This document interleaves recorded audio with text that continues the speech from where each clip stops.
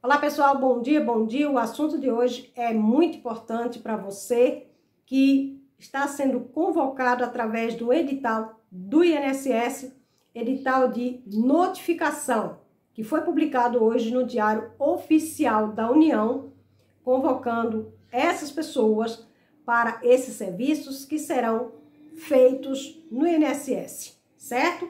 Que são convocação de comparecimento para avaliação social, apresentação de defesa, prova ou documentos, interposição de recursos e ressarcimento ao erário, dinheiros recebidos de forma indevidamente, certo? Então, vai estar na descrição deste vídeo o link do Diário Oficial da União e o link do edital de notificação por quê?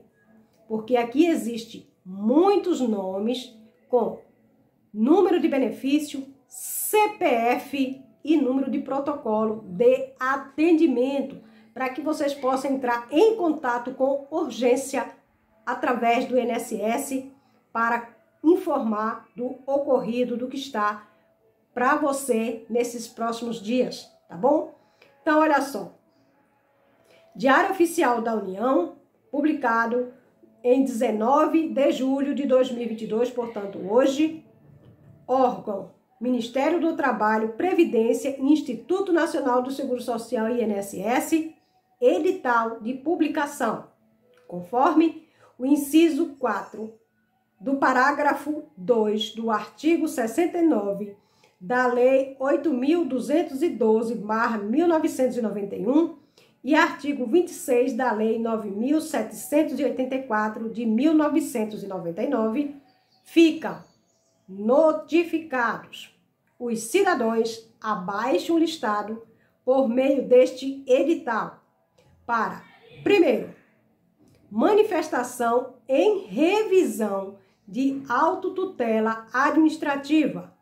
Segundo, comparecimento ou representação em data horário e local abaixo determinados.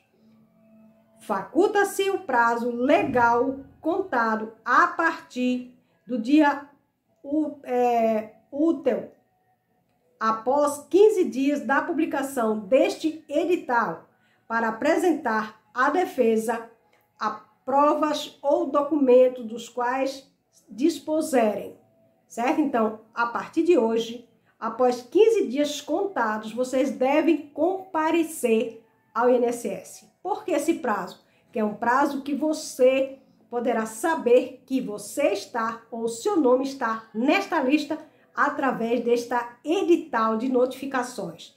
Então, veja se seu nome está nesta lista, o seu CPF, o seu número de benefício e o protocolo de atendimento, certo? Então, olha só, é, interpor, interpor recurso ou ressarcir o erário. O acesso aos autos ou manifestação poderá ser realizado por meio de canais remoto, decorrido do prazo legal ou data de convocação. O processo administrativo será continuidade independente do comparecimento ou manifestação do interessado. Então, eu vou dar apenas um exemplo aqui da convocação para comparecimento. Por exemplo, a Denise, Aldenise da Silva Bezerra, número de benefício 101 187 0565. Então, esta pessoa está convocada para comparecimento, certo? Para apresentação de defesa de provas ou documentais. Um exemplo que eu estou dando aqui, Maria de Souza Góes, número de benefício 185 254 515 é, 9. 185 254 5159 é o número de benefício, certo? Só que aqui tem muitos nomes de cidadão que precisa apresentar defesa, provas ou documentais, certo? Então, é, existe mais serviços, certo? Mais dados que é interposição de recursos. Um exemplo, Juliene Oliveira de Melo, número de benefício 106 519 8.954, número de benefício desta cidadã, certo?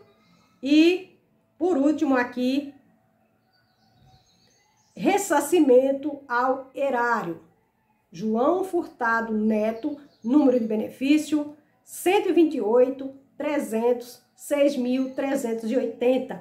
E aí vem em seguida o número do CPF deste cidadão, tá bom?